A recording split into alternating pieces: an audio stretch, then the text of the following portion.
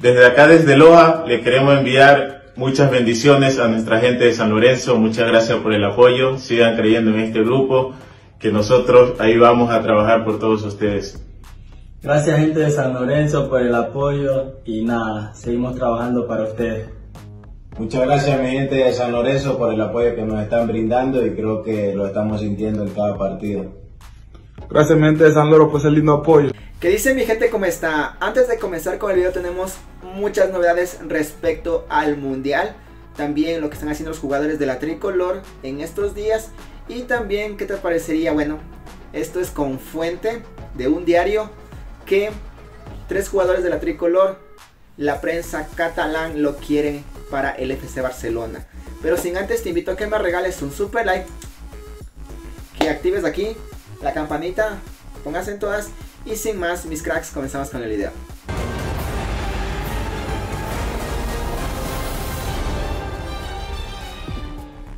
El Toño captado en el Mundial de Qatar, Antonio Valencia presente en un palco, bueno, en una suite del Estadio Califa. Durante el encuentro contra Holanda, el medio ESPN lo captó Antonio Valencia sentado en una de las suites del Estadio Califa. Alessandro Del Piero habló respecto de Ener Valencia. Mira lo que dijo el campeón con Italia respecto a Superman. Durante una entrevista, el campeón del mundo con Italia, Alexander Del Piero, comentó respecto a Ecuador y a Ener Valencia, goleador del Mundial de Qatar. ¿Cómo vio Ecuador Del Piero? muy bien. ¿Sí? Muy bien. ¿El sí, ataque sí. le gustó? Sí, sí, muy bien. Es un equipo muy experto, eh, que tiene jugadores brillantes. Eh, también Valencia está, está muy caliente, ¿no? Sí. Muy bien, buen, bien partido, Ender bien Valencia, ganado. Un saludo ahí de- Chao, guys. para Ender. Un saludo para Ender. Un saludo para todos. Chao. Thank you. Estuvieron en el desierto de Doha. Varios ecuatorianos pues aprovecharon su día libre para visitar este lugar. Durante su día libre, varios jugadores de la tricolor visitaron un desierto de Doha, donde entre los que vemos están Pierre Incapié, Moisés Caicedo, Gonzalo Plata y Jackson Poroso. La prensa española habló respecto al bailecito de Angelo Preciado. Mira cómo reaccionaron estos periodistas. El baile del ecuatoriano se ha hecho viral en todo el mundo, donde la prensa española comentó respecto a esto. Que no llega de primeras, pone el recorte, dos bicicletas, tres, uy, el bailecito, ahí está apreciado, que pone el centro, ah, Homero Simpson apareció en la hinchada japonesa, el insólito momento con, mira, este personaje animado acá. Durante el encuentro contra Alemania, en la tribuna de Japón, a los hinchas se les vio con unas pancartas de Homero Simpson, pero en la versión de detergente, la cual salió en un capítulo. Se burló de Sergio Ramos y también de la goleada que le dio a Costa Rica. Un doblaje de Polonia respecto al técnico de España, Luis Enrique, habló respecto a estos temas. Durante un medio de televisión de Polonia hicieron a un doble del técnico de España Luis Enrique, donde se burló de la convocatoria al Mundial de Sergio Ramos y de la goleada 7 a 0 contra Costa Rica. Bienvenido a esta comunidad que estamos creando. Buenas noches, ¿se me escucha bien? Son las 12 aquí en Doha y 7 a Costa Rica. ¿Cómo estoy hoy? Exacto. ¿Cómo estás, Lucho? Desenfrenado. Era un chiste porque le metimos 7 goles a Costa Rica. Lucho, ¿por qué no has llevado a Sergio Ramos? Bueno, lo que pasa es que sí que lo convoqué, pero el muy idiota entendió que era para el Mundial de Catán, el juego de mesa. Y el tío lleva, creo que son dos semanas ya, cambiando cartas de trigo y madera con unos frikis, o sea que menudo pie. El primer clasificado a octavos, Francia derrotó a Dinamarca y se metió a siguiente ronda. Con doblete de Kylian Mbappé, Francia superó 2 a 1 a Dinamarca en Doha y clasificó a octavos de final de Qatar, donde espera rivalidad el título logrado hace 4 años atrás en Rusia. Por otro lado, Australia venció 1 a 0 a Túnez. Ante esto, la tabla de grupo D quedó así. Primero, Francia con 6 puntos más 4 de gol diferencia. Segundo, Australia con 3 menos 2. Tercero, Dinamarca con 1 punto menos 1 y cuarto, Túnez con el mismo puntaje y diferencia de gol. Las lágrimas de Robert Lewandowski tras marcar su primer gol en un mundial. El jugador del FC Barcelona, pues se le salieron las lágrimas. Los ojos del capitán polaco revelaron las emociones que liberó al terminar su sequía de Copas del Mundo. El punta del FC Barcelona, exjugador del Bayern Múnich y Borussia Dortmund, aprovechó un error del defensa saudita para hacerse con la bola dentro del área y batir a placer al arquero, poniendo en ese momento a los polacos 2 a 0 en el marcador. A lo cual el polaco lloró y desató una emotiva celebración después de que el delantero polaco finalmente levantara la maldición contra Arabia Saudita reviven las esperanzas de clasificar a octavos de final. Con tantos de Lionel Messi y Fernández, Argentina derrotó a México un zurdazo de Lionel Messi y un magistral derechazo de Enzo Fernández, que cambió el ritmo del partido con su ingreso, permitieron a Argentina vencer a México 2 a 0 en el estadio Lusail y recuperar opciones de clasificar al cumplirse la segunda jornada de Grupo C del Mundial de Qatar 2022. Ante esto la tabla quedó así, primero Polonia con 4 puntos más 2 de gol diferencia, segundo Argentina con 3 puntos más 1, tercero Arabia Saudita con 3 puntos menos 1 y cuarto México con un punto menos 2 de gol diferencia. La última fecha de la fase de grupo será este miércoles 30 de noviembre 2 pm en horario unificado, donde Argentina se enfrentará a Polonia y Arabia Saudita contra México. Es el mejor del mundial. Ener Valencia lidera la tabla de goleadores. Ener Valencia, delantero y capitán de la selección ecuatoriana de fútbol, vive un gran momento siendo el actual goleador del Mundial de Qatar con tres conquistas. Superman está brillando y liderando al equipo ecuatoriano, quien ha sumado cuatro puntos al imponerse ante Qatar y empatar contra Holanda. Además con este gol se ha convertido en el líder de la tabla de goleadores del Mundial, donde hasta el momento ha sumado tres tantos con Ecuador. En el segundo lugar tenemos a Kylian Mbappé de Francia con tres tantos y con dos goles, Saca de Inglaterra, Gapo de Holanda, Torres de España, Messi de Argentina, Taremi de Irán, Giroud de Francia y Richarlison de Brasil. Los cataríes apoyan a Ecuador. Mira lo que se presenció en una de las paradas del metro en Doha. Los cataríes en la estación del metro a la salida del estadio demostraron su simpatía con Ecuador. La tricolor ha conquistado corazones.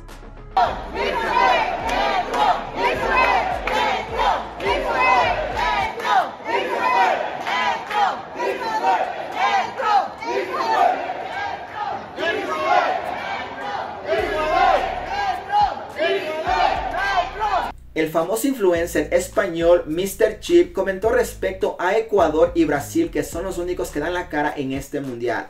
También habló respecto a Ener Valencia y su buen momento en la tabla de posiciones. Bueno, perdón, en la tabla de goleadores.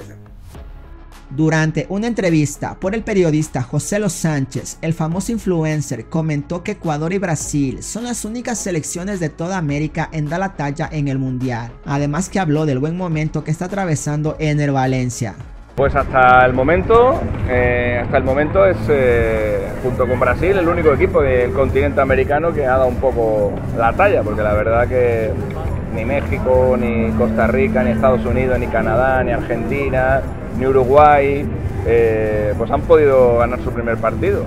lo han hecho Ecuador y Brasil y además los dos jugando bastante bien. Está a un nivel fantástico, ha marcado tengo ahí un dato preparado, ¿eh? por, si, sigue marcando, por si sigue marcando goles, los últimos cinco goles de Ener Valencia, los, eh, los últimos cinco goles de, Ecuador en la Copa del Mundo los ha marcado Ener Valencia. Uno más, con uno más tenemos un, récord, eh, porque nadie, nadie ha marcado, o sea, el récord de goles consecutivos de un país son seis por parte de un jugador.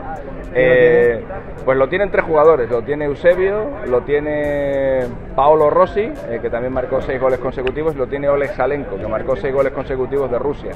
Entonces a ver si Ener llega ahí, e incluso llega a siete, que es algo a donde no ha llegado nadie. El hermano de Moisés Caicedo se declaró campeón en, bueno, en un futbolito que se jugó en Doha.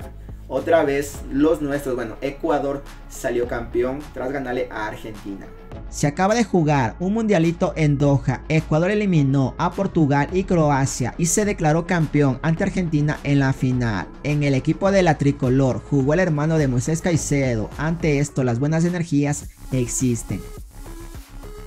Confirma sentirse bien para el encuentro contra Senegal. Ener Valencia comentó cómo va su lesión de la rodilla.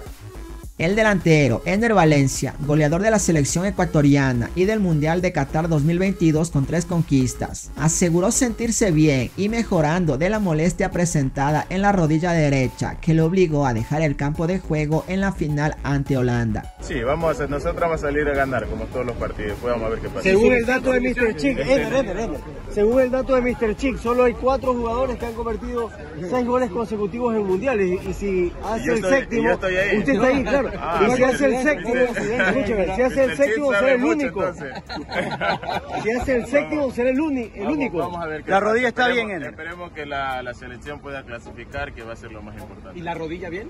Bien, bien, va mejorando, va mejorando. Qué bueno. Gracias. Gracias. Gracias. Espera clasificar a octavos de final, lo que dijo Pervis Tupiñán respecto al encuentro contra Senegal. El ecuatoriano comentó respecto al gol que el VAR le anuló, además del compromiso contra Senegal, donde comentó estar mentalizado para ese día. Bueno, uno por ahí intenta eh, tratar de anotar, pero bueno, ya hay otras cosas que, que no dependen de nosotros, como el VAR, que, que bueno, lo anularon pero bueno, lo importante es que se sumó. Lo importante es que se sumó. ¿Un punto nos separa de la clasificación? Sí, se podría decir así, matemáticamente sí, eh, pero bueno, estamos mentalizados en, querer sumar, en querer ganar, eh, que es lo importante, la ambición del equipo y trataremos de prepararnos para el partido que viene. A seguir ensayando. Ustedes lo soñaban. Sí, lo soñamos y seguimos luchando. Su objetivo, ganarle a Senegal, pese a que le dijeron que con un empate basta, Jackson Poroso dijo que no y que él, bueno, que toda la plantilla quiere ganarle a Senegal. Pese a que un periodista español manifestó que solo un empate ante Senegal les dará la clasificación a octavos de final, Jackson Poroso comentó que no piensan en empatar, sino en ganarle, además que invitó a todos los ecuatorianos a soñar. El empate los clasifica, o sea, ya tienen dos resultados en el último juego contra Senegal, ganar y empatar ya los meten en octavos de final. Sí, la verdad, sabemos que con un empate podemos estar adentro, pero Creo que cada uno de nosotros no está pensando en eso. Creo que cada uno de nosotros está pensando en ganar el partido porque creo que para eso estamos. Jackson, funcionó la línea de tres. ¿Te sentiste cómodo en ese esquema? Sí, la verdad es algo que, que, vengo jugando en mi club. La verdad me sentí tranquilo porque es algo que ya estoy acostumbrado.